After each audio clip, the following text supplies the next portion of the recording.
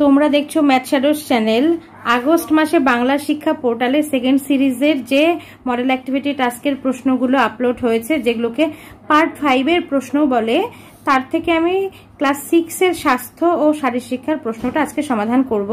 আমার চ্যানেলে আগের মডেল অ্যাক্টিভিটি টাস্ক এবং পার্ট ফাইভের যে টাস্কগুলো আছে, তার সমস্ত ভিডিও দেওয়া আছে, সেগুলোর লিঙ্ক আমি ডিসক্রিপশন বক্সে এবং ভিডিও শেষে দিয়ে দেবো। সেগুলো প্রয়োজন হলে তোমরা দেখে নিও। আর পার্ট ফাইভের বাকি ভিডিওগুলো দেখতে এখনই আমার চ্যানেলটাকে সাবস্ক্রাইব করো এবং পাশে থাকা বেল আইকনটি অন করে দাও। দেখো, তৃতীয় অধ্যায় স্বাস্থ্য শিক্ষা থেকে প্রশ্নগুলো দিয়েছে। এক নম্বর, সঠিক উত্তরটি বেছে নিয়ে লেখো। ক নম্বর সু অভ্যাস গড়ে তোলার জন্য প্রধানত কি গুণাবলী থাকা দরকার? দেখো অপশনগুলো পড়লেই বুঝতে পারবে কোনটা হবে উত্তর। স্কুলের শাসন রোগভোগ দৃঢ় মানসিক প্রত্যয়, অভিভাবকের শাসন। এটা তিন নম্বরটাই হবে, দৃঢ় মানসিক প্রত্যয়। খ নম্বর, একজন শিক্ষার্থীকে প্রতিদিন কতটা পরিমাণ জল পান করতে হবে? এটা হবে দু নম্বর টু পয়েন্ট ফাইভ থেকে তিন লিটার। গ নম্বর, স্বাস্থ্য কি? দেখো, কেবল শারীরিক সুস্থতা কেবল মানসিক সুস্থতা, কেবলমাত্র সামাজিক সুস্থতা? চার নম্বর, পরিপূর্ণ জীবনের উপযোগী শারীরিক, মানসিক ও সামাজিক সুস্থতার সমন্বয়। এটাই নিশ্চয়ই হবে, প্রশ্ন পড়েই বোঝা যাচ্ছে। তারপরে ঘ নম্বর, মাস্ক ব্যবহারের সুফল কি?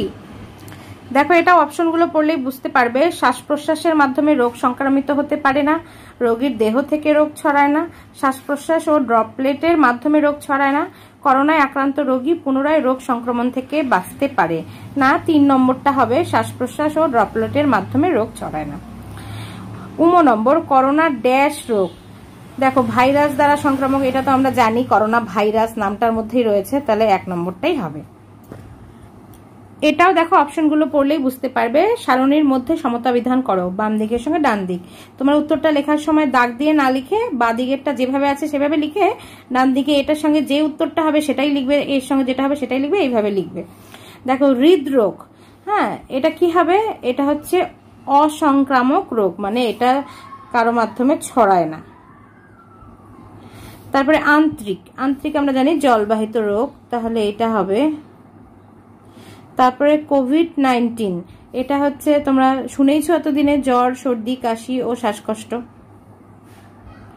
অসংক্রামক রোগের কারণ, শরীরচর্চার অভাব, গতিহীনতা ও ফাস্টফুড খাওয়া প্রভৃতি। এটাই হবে। এবার তিন নম্বর দেখো, নিজের মতো করে লেখো। নভেল করোনা ভাইরাসের উপসর্গগুলি লেখো।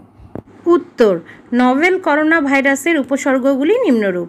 এক, জ্বর, দুই, সর্দি, কাশি, তিন, শ্বাসকষ্ট, চার, গন্ধ ও স্বাদ চলে যাওয়া। পাঁচ, শরীরের দুর্বলতা। ছয়, সারা শরীরে ব্যথা। সাত, নিউমোনিয়া। আট, শরীরের কোনো অর্গান ফেইলিওর হয়ে যাওয়া প্রভৃতি। এই কারণগুলো তো এতদিনে নিশ্চয়ই তোমরা জেনেই গেছো, তোমরা নিশ্চয়ই নিজেরাই লিখতে পারবে। খ নম্বর প্রশ্ন, নভেল করোনা ভাইরাস রোগ প্রতিরোধ আমাদের কি কি পদক্ষেপ গ্রহণ করতে হবে? দেখো, এই উত্তরগুলো অনেকে তোমরা জেনে গেছো আরও কিছু থাকলে দিয়ে দেবে।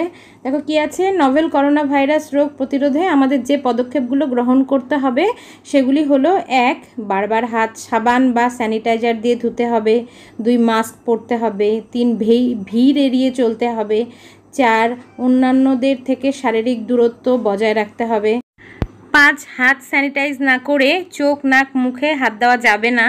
ছয়, জ্বর, কাশি, শ্বাসকষ্ট এবং গন্ধ চলে গেলে ডাক্তারের পরামর্শ নিতে হবে।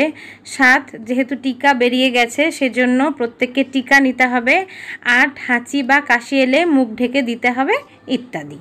তাহলে এই ছিল আজকের ভিডিওটি। ভিডিওটা ভালো লাগলে একটা লাইক করো, শেয়ার করো, কমেন্ট করো, জানিও, চ্যানেলটা সাবস্ক্রাইব করো এবং পাশে থাকা বেল আইকনটিও অন করো।